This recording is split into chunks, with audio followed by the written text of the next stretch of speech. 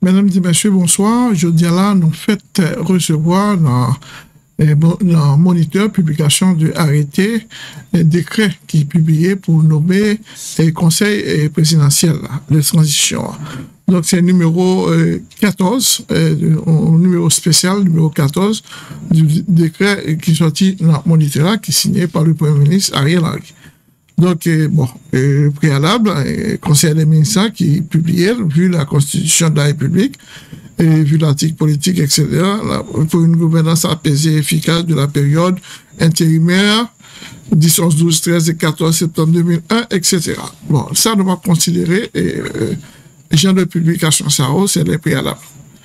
Et à partir de 45 ans, il parlait du conseil présidentiel de transition. C'est comme ça que nous devons désormais, nous pas le conseil présidentiel, mais c'est conseil présidentiel de transition. Donc, le conseil présidentiel de transition, hein, premièrement, c'est participe en accord avec le premier ministre à la formation d'un cabinet ministériel inclusif. Donc, la question ça, il est un petit peu confus par le fait que nous pas qu'on connaît, est-ce que, qui Premier ministre a parlé, est-ce que c'est Premier ministre Ariel Henry, le Premier ministre sortant, ou bien est-ce que c'est le Premier ministre qui va le nommer là? Parce que, faut nous rappeler que, dès que ça qui sortit là, c'est pas papier ça que monsieur conseil présidentiel été préparé pour te remettre à CARICOM et puis également que, une fois que le décret a été préparé par monsieur c'est plus page, c'est plus euh, décret la donne. Donc, une fois que vient dans le conseil des ministres, monsieur est retiré en pile bail la donne et il mettait à faire payo la donne. Bon, nous allons regarder vraiment, est-ce que, et, comme décret a publié, monsieur conseil présidentiel est d'accord, est-ce que au même tour, il publier l'autre décret pour faire un changement la donne, nous allons reconnaître. Donc, article 5 là, la, alinéa première dit participe en accord avec le Premier ministre. On a parlé déjà de Bourgogne, qui Premier ministre. Approuve l'ordre du jour du Conseil des ministres en accord avec le Premier ministre et consigne les arrêts et les décrets. Donc, ça, c'est le rôle du Conseil présidentiel. Fixe les décrets de sélection des membres du Conseil électoral provisoire impartial et les normes donc, c'est au même tour qui va considérer conseil électoral provisoire là. Prendre toute disposition favorisant une transition pacifique. Bon, ça pacifie rien. Qui disposition va le faire, c'est peut-être la sécurité, etc. Et assure la continuité de la gouvernance et établit un conseil de sécurité nationale. C'est que nous, est CSN, un conseil de sécurité nationale, d'abord même, qui est différent de sa constitution prévoit pour de CSPN. Et en plus, sixième alinéa a parlé de poursuivre la collaboration avec tous les membres de la communauté internationale pour le déploiement accéléré de la mission multinationale de soutien à la sécurité autorisée par la résolution 2699 du 2003, 2023 du Conseil de sécurité des Nations Unies. Ça, est négocié signé immédiatement que vous d'accord, que vous signé, il faut le rentrer dans la résolution du décret. Parce que c'est une des conditions préalables que devez accepter le rôle. Article 6. Le Conseil présidentiel là, il choisit et nommé rapidement un Premier ministre. Donc, il est parlé dans l'article 5, un Premier ministre. Là, nous qu'on connaisse si c'est Premier ministre que que il a premier, mais si c'est le Premier ministre actuel là, a dit, et, démissionnaire là, qui n'a pas joué rôle pour choisir et, pour fixer le décret du Conseil électoral provisoire.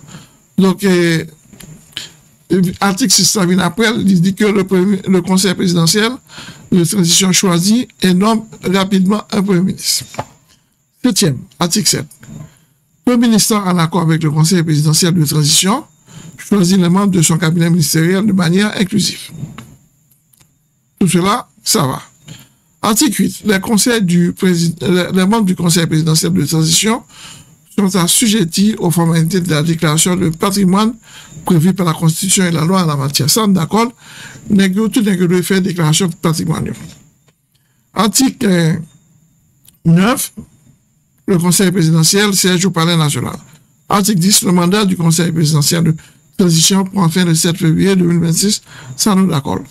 Conseil présidentiel de transition ne peut bénéficier de prolongation de mandat non d'accord 100%.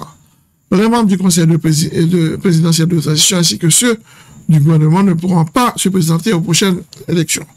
Ça, c'est clair.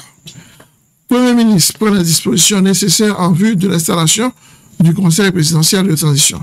Donc, Premier ministre a parlé à là. Est-ce que c'est Premier ministre Ariel Henry ou bien c'est Premier ministre Yopal Lancea?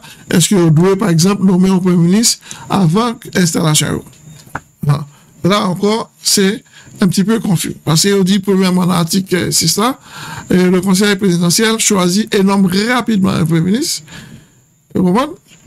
Et puis, il y a là, il dit dans l'article 11 ans, 12, 12, ans, le Premier ministre prend la disposition en vue de l'installation du Conseil présidentiel de transition. Donc, un rôle un petit peu ambigu à, savoir le rôle du Premier ministre, soit sortant ou bien le, Premier ministre qui sera nommé. Le décret abroge toute loi ou, disposition de loi, décret ou disposition de décret, etc donné au palais national. Mais bon, l'autre article, plus devant que nous parlons de l'article premier, qui était intéressant également, il a créé un conseil présidentiel de transition composé de sept membres, etc. Les sept membres de loi de vote ont, comprenant un représentant de chacun des groupes suivants, accord du 30 août, accord du 21 décembre 2022, collectif des partis politiques et des raids compromis historiques, parti Famille Lavanas, parti Petit Dessalines, secteur privé et puis les deux membres observateurs, représentant de la société civile un représentant de la communauté inter-foi, c'est-à-dire les religions. Article 2 a dit, outre les conditions prescrites par l'article 135 de la Constitution, nul ne peut faire partie du Conseil présidentiel de transition s'il fait actuellement l'objet d'une accusation, ok, ou d'une poursuite pénale, ou s'il a été condamné dans une juridiction quelconque. Ça, c'est un petit et mot que vous lancé par M. Guy Philippe, si toutefois le avez fait partie du conseil présidentiel là, quelle que soit la juridiction quelconque que vous avez accusé ou pas là-dedans. Ou bien si les candidats aux, prochaines élections, bon, tout ça, on connaît que, une fois que entre dans le conseil là, qui a duré deux ans, il pas cap et à participer dans l'élection, c'est pas normal. Ou bien s'il oppose, ça, d'accord également, et s'il oppose à la résolution 2699-2023 du Conseil de sécurité des Nations Unies. Parce qu'une fois qu'il a été d'accord pour une force hein, de déploiement et entrer dans le pays, on va dire qu'on est là, pas d'accord. Bien que entendez quelqu'un qui a parlé, de faire connaître que c'est pas intention ou ça. Donc, dès que ça, vous mettez les points sur les i, si tu as un monde vraiment, et le conseil qui a dit que pas d'accord avec des déploiement, c'est pas le moment de le faire.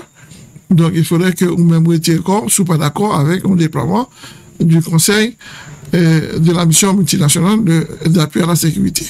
Ça que nous relais, et MM et AS Conseil présidentiel de transition dans l'article 3, d'après le décret, il dit le conseil présidentiel de transition est présidé par un des membres choisis par consensus ou la, la majorité de ces derniers. Bon, ça, eux-mêmes qui va choisir qui est si président, et voilà. Un acte réglementaire pris en conseil des ministres détermine l'organisation et le mode de fonctionnement du conseil présidentiel de transition. Bon, ça, c'est ça qu'on a, euh, parlé de accord et qui peut publier, c'est conseil et présidentiel là va publier à quoi? Pour voir comment eux-mêmes ils vont le définir et mandat comment ils vont le définir et, travail. Le Conseil présidentiel de transition exerce les pouvoirs présidentiels spécifiques de la présidence pendant la période de transition jusqu'à l'investiture du président élu qui doit intervenir au plus tard le 7 février 2026. Tout cela, nous d'accord là-dedans. Donc voilà, un petit peu en gros le décret qui vient de sortir et publié par euh, le Premier ministre Ariel Henry, c'est lui-même seulement, et, et, puis qui est publié par dans le journal officiel ce vendredi 12 avril. Donc voilà, mesdames et messieurs, nous espérons que ça va ranger un petit peu la situation de chaos qui gagne dans le pays en ce moment. Et qui décision que M. Opal prend pour permettre que genre de situation soit capable de résoudre et comment il va l'établir Conseil national de sécurité a, et, et, qui, genre, qui type de révocation peut le faire aussi au niveau de l'appareil de l'État, à savoir euh, les directeurs et les sous-directeurs de services publics de l'État. Et puis, nous allons regarder également le directeur de la police nationale aussi, et qui est censé pas faire grand-chose de euh, situation, donc il fait que résister. Donc, euh, pas aucune action euh, d'envergure qui menait par euh, ce Premier ministre pour dire que ça crasé une dans qui est entré dans le pays. Donc, nous allons regarder qui décision que le Conseil présidentiel de transition il va le mener pour capable de et pays. Donc, nous avons encore et pour capable l'autre détail encore sur question ça.